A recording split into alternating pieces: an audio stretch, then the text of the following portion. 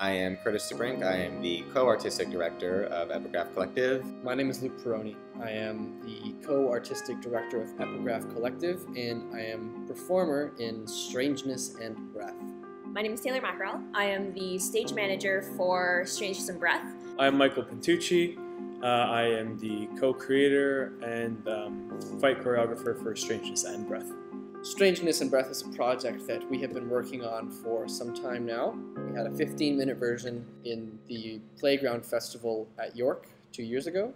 We've been trying to kind of capture the characters as well as the actors and trying to mold the characters from what they were into what they are now. The play bounces between these two worlds that blend memory and experience to a real life situation that's happening right in front of the audience. Strangeness and Breath is a play about a hookup gone weird.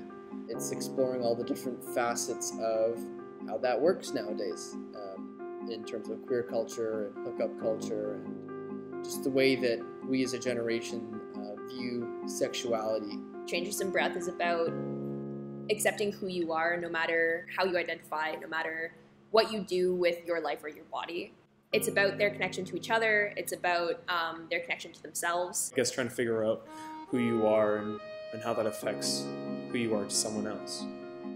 It's weird. It's weird. Little Black Afro is a company that I've been working with since uh, I started university. And it's really great. Uh, Luke approached me about producing the show. Well, the process has been a lot of fun. You know, each person as eager to try one idea as they are to try the next. Every show we partner with uh, a local charity uh, that is thematically relevant to the show. And with this show, we are working with Youthline, which is a really great organization that makes resources and available to queer people, people in the queer community, uh, and they do a lot of community outreach.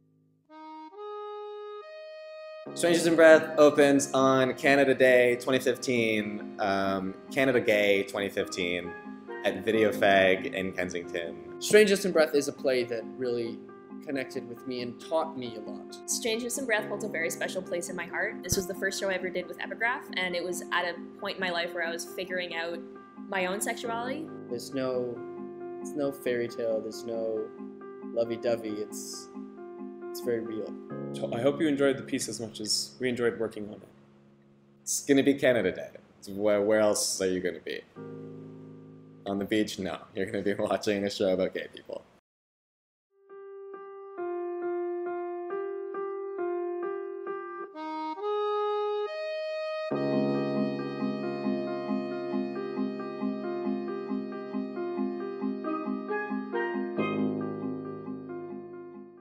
And I'm done.